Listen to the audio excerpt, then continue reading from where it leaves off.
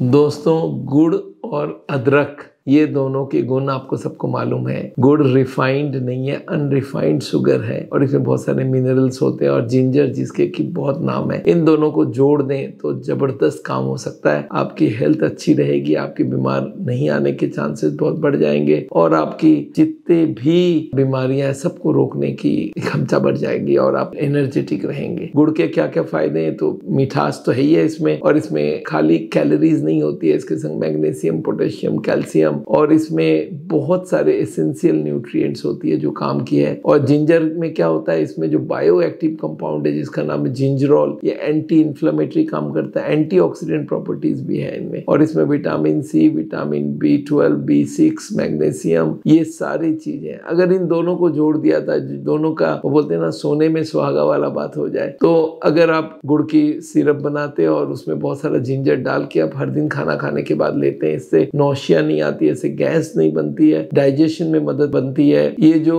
Jaggery जो होती है, इसका फ़ायदा है, जैगरी मतलब गुड़ का फ़ायदा है कि डाइजेशन में मदद करती है, कब्जियत हटाती है लेग्जेटिव का काम करती है और इधर बहुत इंटेस्टिनल प्रॉब्लम्स को काफ़ी कम कर देती है। अच्छा पे इम्यून सिस्टम को स्ट्रॉन्ग करता है क्योंकि जिंजर में एंटीऑक्सीडेंट है और जैगरी में जिंक और सेलेनियम है, दोनों हमारे इम्यून फ़ंक्शन में बहुत फ़ायदा करता है। सांस की बीमारी में ये काफ़ी काम में आती है क्योंकि जिंजर भी सांस की बीमारी में काम में आता है, गुड़ भी आता है और ये हमारे रेस्पिरेटरी ट्रैक्ट को ठीक रखता है कफ को ठीक रखता है और कफ को बाहर लाने में मदद करता है थ्रोट को बहुत स्मूथ रखता है। तो ये कॉफ एंड कोल्ड में काफ़ी काम में आती है। एंटी इन्फ्लामेटरी इफ़ेक्ट जब भी कोई को अर्थराइटिस होती है तो जिंजर और गार्लिक के संग आप तहद लेते हैं तो इसमें बहुत फ़ायदे होती है। एंटी इन्फ्लामेटरी इफ़ेक्ट होती है इसका और इससे आपको मैग्नीशियम आयरन मिलती है जो हमारे एंटी इन्फ्लामेटरी प्रोसेस को रोकती है सपोर्ट देती है, हमारे इन्फ्लामेशन को रोकती है और एंटी इन्फ्लामेटरी को सपोर्ट देती है। अच्छा क्विक एनर्जी होने से हमारे एनर्जी काफ़ी अच्छी हो जाती है जिंजर हमारे मेटाबॉलिज्म को फ़ायदा करता है तो ये दोनों को लेने से एनर्जी लेवल काफ़ी बढ़ जाती है और